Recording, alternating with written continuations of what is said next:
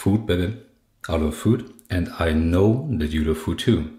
Today we go back to Vietnam. I have a Banh Bao chay, and it is this huge thing here, like a bun, and it's filled with vegetables. And I think the correct name is chay for the vegetable part. And I have a Saigon export beer.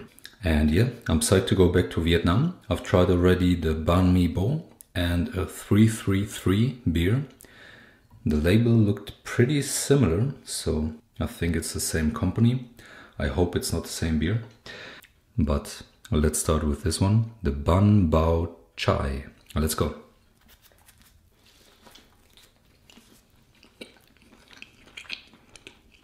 Mm hmm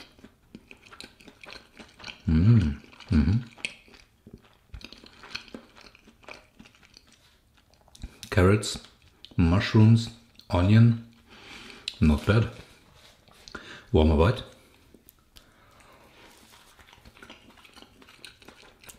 Mm. I think also glass noodles.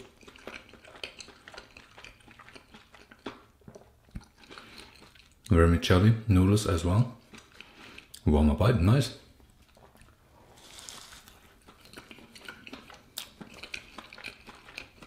Hmm. And at the beginning, I thought it's like too much dough, but it's quite soft. It dissolves pretty easily in your mouth. So nice, this one. And I took the things from a place called the Small Vietnamese and Korean Corner in Munich.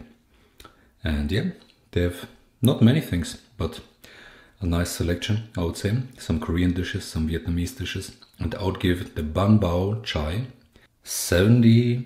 73 points. Alright, let's try the Saigon export beer. Light beer. Let's go.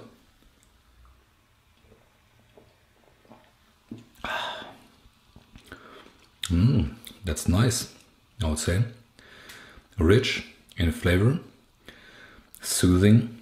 One more sip. Mm. 4.9% of alcohol, and it's a really good flavor, I would say. I like it. On some days, you like beer more, on others, not as much, but it fits also very nicely with the Banh Bao chay and I would give the Saigon 74 points. Good beer. So there you go guys, another taste test of Vietnamese food, another Vietnamese episode of Food and Drink. Let me know if you enjoyed it. Uh, let me know what I should try next. And there will be coming Vietnamese videos for sure, because the food is amazing.